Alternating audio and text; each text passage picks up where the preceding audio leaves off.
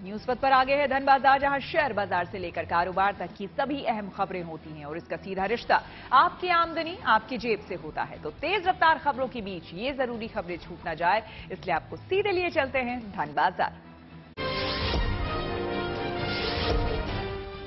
Share बाज़ार में आज भी तेज़ी रही। सेंसेक्स 803 अंक चढ़कर चौसठ हज़ार सात सौ उन्नीस के लाइफ टाइम हाई पर बंद हुआ। वहीं निफ्टी भी 217 अंक चढ़कर उन्नीस हज़ार एक सौ नवासी के रिकॉर्ड ऊंचाई पर बंद हुआ। कारोबार के दौरान भी दोनों में तेज़ी रही। सेंसेक्स ने रिकॉर्ड चौसठ हज़ार सात सौ उनहत्तर का आंकड़ा छुआ तो वहीं निफ्टी उन्नीस हज़ार दो सौ के अपने ऑल टाइम हाई पर पहुँचा। दिल्ली सराफा बाज़ार में सोना महँगा हुआ। सोने की कीमत अस्सी रुपए बढ़कर उनसठ हज़ार तीस रुपए प्रति दस ग्राम हो गई। वहीं चांदी की कीमत में गिरावट देखने को मिली। चांदी पाँच सौ पचास रुपए गिरकर सत्तर हज़ार सात सौ रुपए प्रति किलोग्राम पर पहुँची।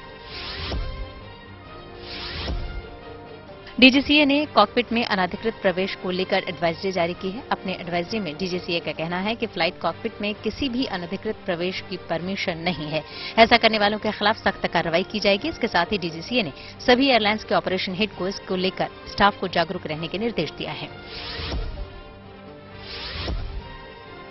देश के विदेशी मुद्रा भंडार में कमी आई। आरबीआई के मुताबिक विदेशी मुद्रा भंडार दो दशमलव नौ अरब डॉलर घटकर पाँच सौ तिरानवे दशमलव एक नौ अरब डॉलर हो गया है। इससे पहले देश का कुल विदेशी मुद्रा भंडार दो दशमलव तीन पाँच अरब डॉलर बढ़कर पाँच सौ छियानवे अरब डॉलर हो गया था।